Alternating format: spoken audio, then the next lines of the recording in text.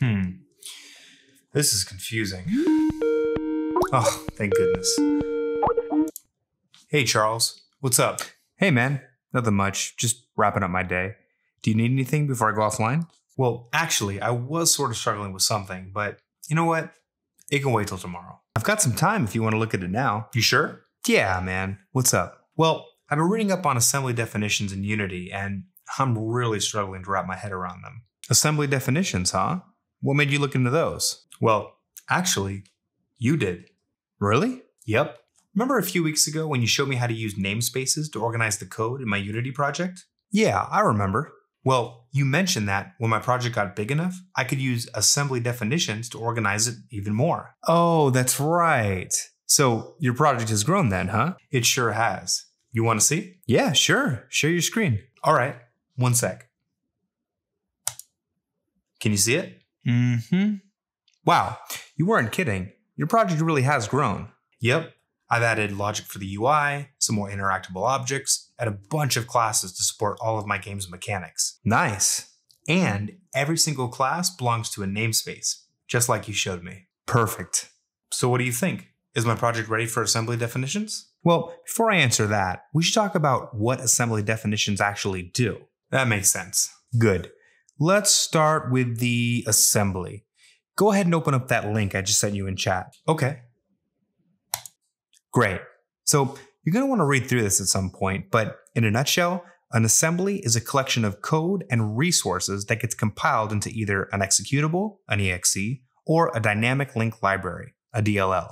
Okay. So does that mean that all the classes in my project are a part of an assembly? Yep. By default, Unity puts all of your class files into a predefined assembly called assembly-c-sharp.dll. Wow, I did not know that. Here, switch back to your code editor and we can take a look at it. Okay. And change the Explorer view from Unity to Solution. See it there? Oh yeah, assembly-c sharp. Cool. Now, again, Unity automatically creates that assembly for every project, but you can define your own assembly with. Ooh, ooh, let me guess. An assembly definition file? Bingo. Cool. But um, why would I do that?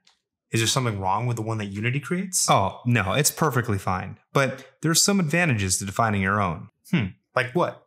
Well, first of all, you can define more than one. What? Yep. Right now, your whole project lives in a single assembly, so Unity has to recompile the entire codebase every time you make a change. Even if it's just a small change to one class? That's right. But a few strategically placed assemblies can help break up your codebase and speed up compilation by quite a bit. Hmm. That sounds pretty cool and all, but my project compiles pretty fast as is. Well, yeah. The truth is, you don't really notice a change on big projects with hundreds of classes. Gotcha. So then I guess the answer to my question is that I don't really need to use assembly definitions for my project at all. Not so fast. Assembly definitions are also a great organizational tool. Really? How so? Well, by defining more than one, you can effectively split your project into multiple smaller assemblies that are easier to maintain on their own. Oh, that's cool. Yeah. Plus, on top of that, each assembly represents a system boundary that's difficult to cross, which makes it harder to write spaghetti code. Hmm, interesting. What makes them so hard to cross? Great question. Why don't we add a couple to your project and I'll show you? Sure, that sounds great. Cool. Go ahead and switch over to Unity. Okay. Perfect. So, based on the names you've chosen, I'm going to assume that a lot of classes in your project depend on the classes found in your core namespace. Is that correct? Yes, that is correct. Okay. Then we'll start by moving all of your core classes into their own assembly. To do that, go ahead and right click on the core folder, expand the create menu, click on assembly definition, and then just name it core. Beautiful. Okay, so far so good. What's next? Believe it or not, that's all there is to it. Wait, really? But nothing changed.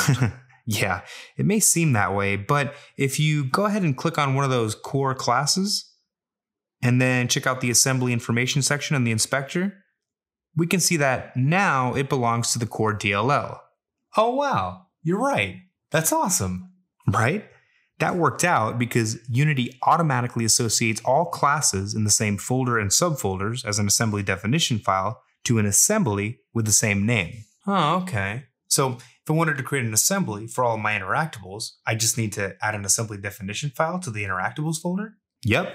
In fact, why don't you go ahead and do that now? Okay.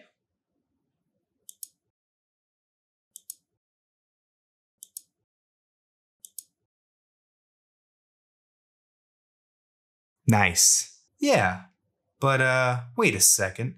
Looks like there's some exceptions in the console. Ah, uh, yes. Those are the result of your new boundaries. Go ahead and open one of those classes up. As you can see, this class depends on being able to reference the iInteractable interface, which now lives in a completely different assembly. Oh, shoot. So, what do I do now? Well, first, you'll need to decide if you want to allow your Interactables assembly to depend on your core assembly. What if I don't?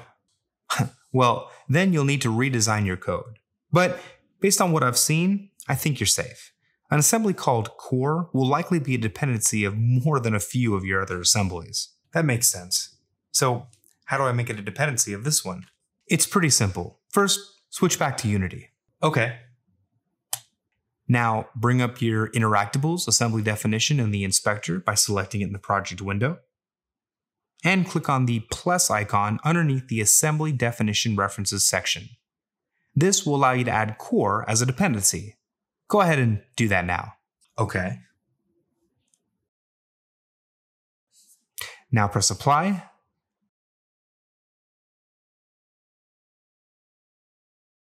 And you're all set. Nice. The exceptions are gone. Yep.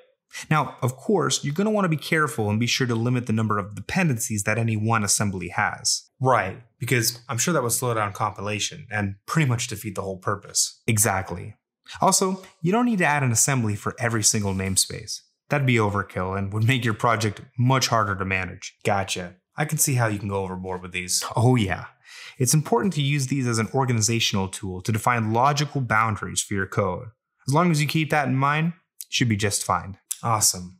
Well, thanks again for all your help. I know you're shutting down, so I'll let you get to it. All right, man, no problem. Hit me up if you need anything else, okay? Will do. Later, man. All right, later. Thank you to all of my supporters, and a special shout out to Dark Rush Photography, Joe Tizol, Nav from Academy of Games, R-Star, Thomas, Trond, Yusuf Ali Castle, Yakub Al Safari, and Iron Alex.